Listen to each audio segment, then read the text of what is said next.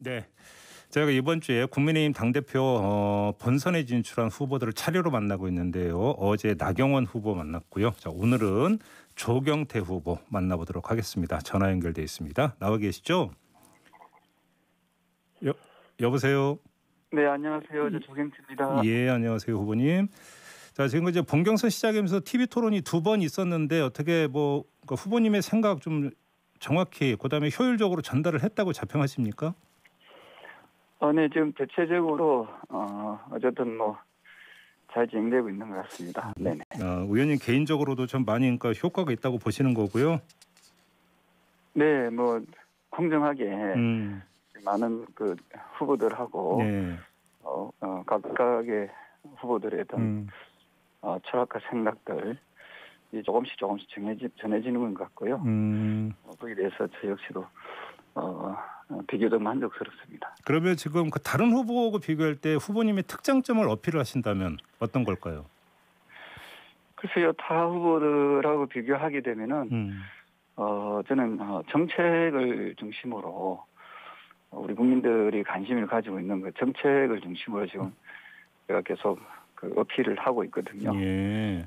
그런 부분들이 아마 우리 당원들과 국민들께 음, 조금 조금씩 그 어, 선에들고 있지 않은가 이런. 음, 지금 정책을 말씀하시는데 그렇다면 그 흔히 하는 킬러 컨텐츠를 꼽으신다면 어떤 걸 이제 가장 먼저 말씀해 주시겠습니까? 어, 제가 조금 호평을 받았던 것은 음, 어, 우리 사회 그 공정의 사다리 음, 예, 중에 하나라고 꼽을 수 있는 그 사법시험 제도 사실 부활을 어, 제가 이야기를 했었거든요. 예, 사법 예, 그- 사법고시 부활, 예, 그 지금 우리나라가 로스쿨 제도가 있지 않습니까? 그렇죠.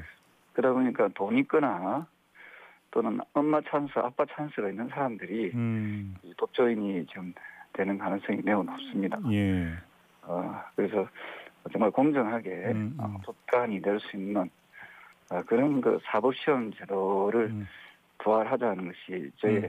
주장입니다. 알겠습니다. 그다음에 후보님 며칠 전에 그 도쿄올림픽 보이콧도 말씀하신 적이 있으시죠? 네, 그렇습니다. 그, 저, 참, 일본이 좀, 해도 해도 좀 너무하다. 그러니까요. 생각을 예. 하고, 예. 그, 못된 버릇이 또 드러나는 것 같아요. 음, 사실은, 그 동계올림픽, 우리나라 평창올림픽 할 때, 예. 일본이 항의로 해가지고, 독도를 우리가 그 한반도 그 지도에서, 어, 지웠지 않습니까? 네, 네. 그, 어, 어, 그 국제적 갈래다는 그 이유로, 음, 어, 우리는 그 독도를 에, 지어줬는데 음. 일본은 어, 독도를 도저히 일본 땅이라고 이렇게 지금 표시 표기한 부분에 대해서 네. 어, 저는 이거는 어, 그냥 넘어가서는 안 된다. 네. 전 국민이 함께 분노해야 되고 음, 만약에 그게 받아들이지 않게 되면은 음, 도쿄올림픽은 우리는 어, 적극적으로 보이콧해야 된다 음. 하는 것이 저 조경태의 예, 주장입니다. 현실 가능성이 있을까요, 근데? 근데 그는 문재인 정권이 음, 어, 저는 그 상호주의 원칙에 의해서 네. 반드시 그렇게 해야 된다 생각하거든요. 그래요. 그 음. 우리는 일본의 요구를 들어줬는데 그 어, 어, 일본이 만약에 우리의 요구를 듣지 않는다면 음, 올림픽에 우리가 참여할 이유가 없잖아요. 네, 네, 네. 예, 저는 이 부분은 어, 문재인 정권이 음. 정말 이거는 심도 있게 음. 저는 어, 검토해야 된다 예. 그런 입장이고요. 예, 그렇습니다. 알겠습니다. 자, 그 이제 경선 구도를 좀 여쭤봐야 될 것 같은데 이른바 이준석 바람이 불고 있다. 뭐 다들 이렇게 이야기를 하고 있는데 저이 바람의 뭔가 저기 풍속, 세기, 그 후보님 어떻게 진단하고 계세요?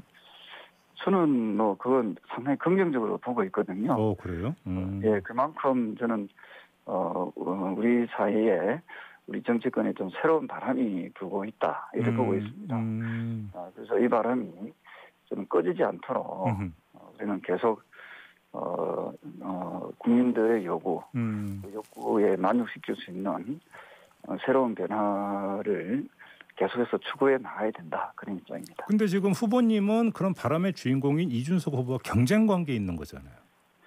아, 저는 이런 경쟁을 참 좋아합니다. 네. 예, 예. 우리가 경쟁이 있어야만 또 발전이 있는, 거- 있는 거 아니겠습니까? 음흠. 어, 저 역시도 어, 나이가 비교적 좀 젊은 나이거든요. 예. 보통 이제 언론에서는 저를 중진의 한 사람으로만 모는데 선수만 놓고 보면 그렇잖아요. 저 선수만. 사실은 50대 초반이거든요.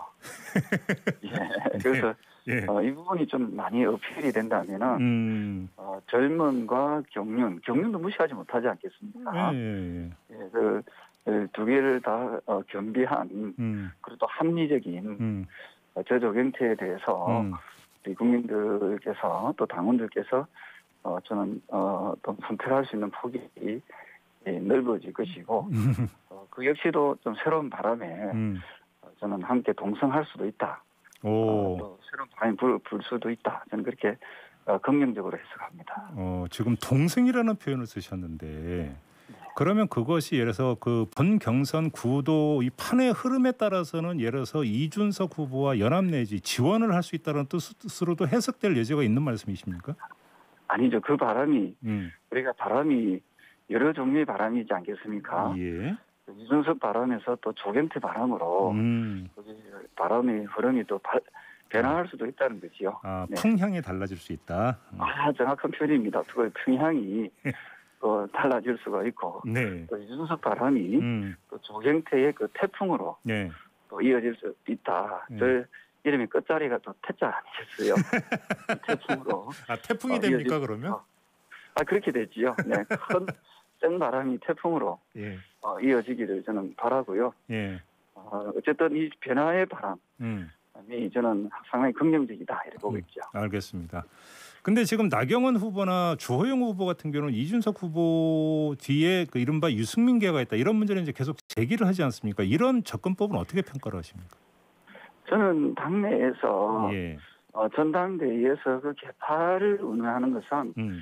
개파 논쟁은 이거는 전당대회에 그 찬물을 끼얹는 행위라고 보고 있거든요. 예. 어, 저는 그 어떤 특정 개파가 뒤에서 배후에 있다 없다 이런 주장들은 음. 그렇게 설득력은 없는 것 같습니다. 아 그렇게 보- 오늘 근데 한겨레가 보도한 내용이 있는데요. 오늘 아침에 김무성 전 대표와 이준석 후보가 만났다라는 이런 그 보도 내용인데 물론 사실관계를 일단 좀 확인을 해봐야 되는데 이게 사실이라면 이건 어떻게 봐야 되는 문제일까요? 그 정치인은요 누구든지 만날 수가 있는 겁니다. 아, 또 특정인을 만났다 해가지고 음, 그것이 어 뭐 옳다 그르다 이렇게 음. 표현하는 것 자체가 예. 어, 저는 아주 낡은 구도고 낡은 사고다 이렇게 보거든요. 음, 그런 말씀드리지만 예. 정치인은 누구든지 만나서 음, 어, 어떤 의견을 듣고 정치할 또 정치해야 된다 예. 그런 입장. 알겠습니다. 후보님 출마 선언문을 보니까 이런 구절이 있더라고요. 원내대표, 당대표, 대선 후보까지 모두 판검사 출신이 된다면 우리 당은 로펌 정당이라는 비난을 빗겨가지 못할 것이다. 이런 대목이 있던데 역시 이거는 이제 당 대표를 염두에 두고 하신 말씀인 것 같긴 한데요. 지금 대선 후보로서 윤석열 전 총장이 거론되는 것은 어떻게 지금 그 지켜보고 계시는지가 궁금합니다. 어, 윤석열 전 총장은 어떻게 보면은 그 현 권력에 맞선 네, 어, 어, 공정함을 좀 대변하고 있다 이렇게 보고 있거든요. 네, 그런 의미에서 윤석열 총장이 꼭 그 검찰총장 출신이다 음, 해서가 아니라 네, 어쨌든 권력에 맞서서 음, 그 자신의 어떤 그 소신, 그 자신의 길을 또박또박 가는 것에 대해서는 음. 어, 그, 그 자체를 저는 어, 국민들이 저는 높이 사고 있다 이래 음. 보고 있기 때문에 네. 그 윤석열 전 총장의 그 흐름 역시도 예. 저는 우리 대한민국의 정치계의 소중한 자산이 아닌가 이렇게 음. 보고 있어요. 지금 뭐 윤석열 전 총장이 국민의힘 소속 정치인들을 계속 만나고 있다는 보도가 나오던데 국민의힘 입당은 기정 사실이다 이렇게 보세요 후보님? 어, 저는 아, 앞서 말씀드렸던 대로 정치를 하고자 하는 분들 예, 그 누구든지 만날 수가 있거든요. 예, 예, 뭐 민주당에 아마 정치인들도 만날 수 있지 않겠습니까? 네, 뭐 그- 물론 그럴 수 있겠죠. 대해서 예, 예. 예, 거기에 대해서 꼭 우리 당으로 들어올 들어올 것이다라고 음, 예단하기는 어렵고요. 어, 다만 그 우리 당이 음, 어, 저 수권 정당으로서의 어, 능력과 자질 음, 거기에 덧붙여서 어, 매력적인 정당이 된다면 음, 어, 저는 그 좋은 후보들이 바깥에 있는 좋은 후보들도 우리 당에 합류할 것이다 이래 보고 있습니다. 근데 바로 그 지점과 관련해서 이제 경선 시기를 둘러싸고 TV 토론에서 좀 논쟁이 있던데 이 문제는 어떻게 정리가 돼야 된다고 보세요?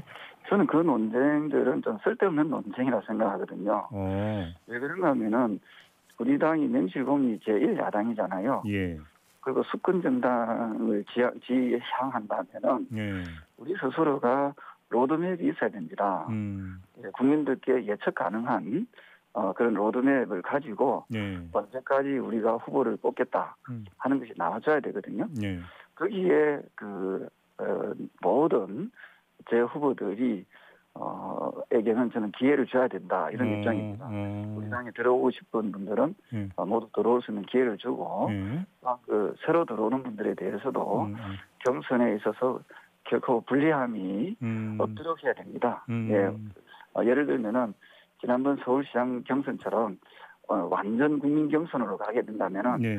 어, 그런 불리함은 없어지겠지요. 야, 그래요. 그렇게 보시는 거고요.